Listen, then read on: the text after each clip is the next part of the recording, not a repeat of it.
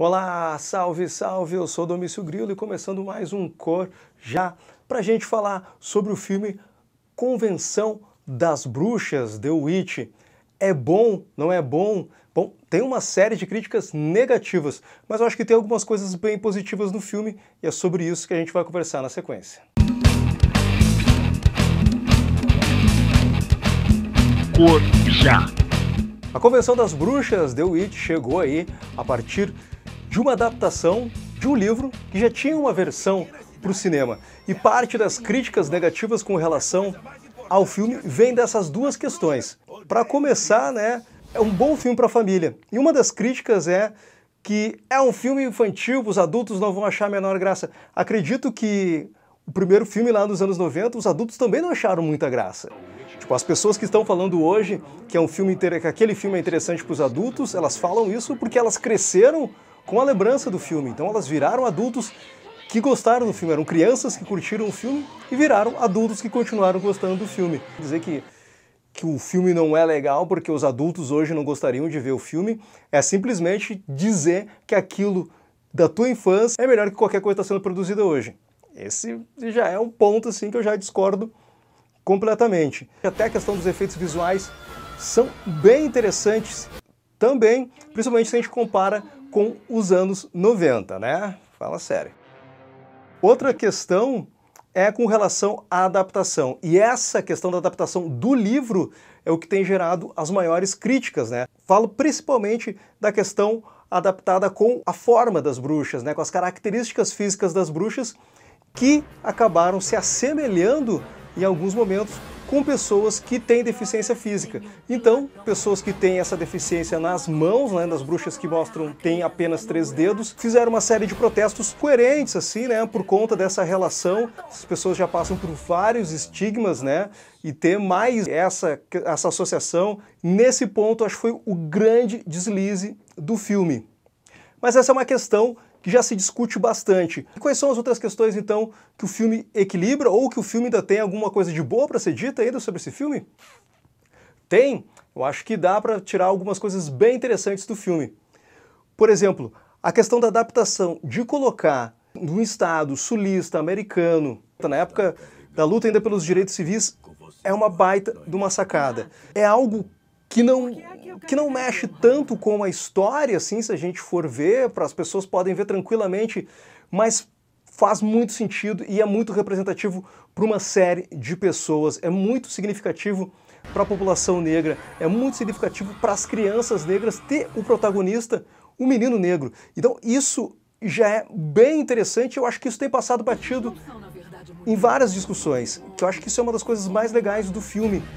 E não só essa questão de colocar, simplesmente trocar a cor ou trocar o gênero dos protagonistas. Eu acho que o filme acerta muito nisso, porque ele troca o lugar, troca o protagonista e ele cria todo um entorno desse protagonista que faz muito sentido ao protagonista. E tem coisas muito, muito interessantes e muito bem, muito bem pensadas. Tem questão de ancestralidade do personagem da Octavia Spencer, da avó, então conta as histórias, relembra o passado dela no sul também, no sul americano lá, mostra aqueles ambientes de extrema precariedade. Então tu coloca contexto histórico muito legal dentro do filme, que em algum momento também é dito: as bruxas não são mulheres. Elas são demônios em forma de pessoa. Isso é muito significativo também para quebrar esse estigma também que se coloca sobre a mulher. Ou a mulher que não está no padrão estético desejável é bruxa, ou a mulher mais velha é a bruxa, ou a mulher que não quer ter filhos é a bruxa. Então tem essa questão do contexto histórico e desse protagonista negro, tem essa questão de tirar desse peso ou de não apontar para as mulheres essa questão assim, ah, a bruxa é a mulher. Não, as bruxas não são mulheres, as bruxas são outra entidade que usa um corpo físico humano e tem outra colocação que eu acho sensacional, que eu dificilmente a gente vê nos filmes de Hollywood. A gente tem qualquer mal, entidade maligna, qualquer manifestação do mal que apareça, não importa de onde tenha sido a sua origem intergaláctica, seja, sei lá, de, um passado remoto, seja a partir de qualquer cultura, ela é sempre combatida a partir da ideia dos preceitos judaico-cristãos. Então é sempre um padre, tem sempre uma igreja, tem sempre alguma coisa que combate, que faz o exorcismo ou que luta contra o mal. E dessa vez, quem tem o conhecimento para lutar contra o mal, para lutar contra as bruxas, é essa senhora, essa avó negra que usa das santerias, que usa do voodoo, que usa de todo esse arcabouço do conhecimento e da religião negra e dessa ancestralidade negra para combater as bruxas. Então acho que nesse sentido, sim, o filme é muito bom. E aí a gente tem alguns problemas e a gente acaba equilibrando. Eu acho que vale muito ver o filme, principalmente com crianças, porque é um filme para o público infantil. Eu acho que tem uma coisa que é muito massa também que eu não falei em algum momento, que a caracterização da bruxa da Anne Hathaway parece muito com o Baraka do Mortal Kombat, cara. Também isso é bem interessante, isso é bem louco, assim.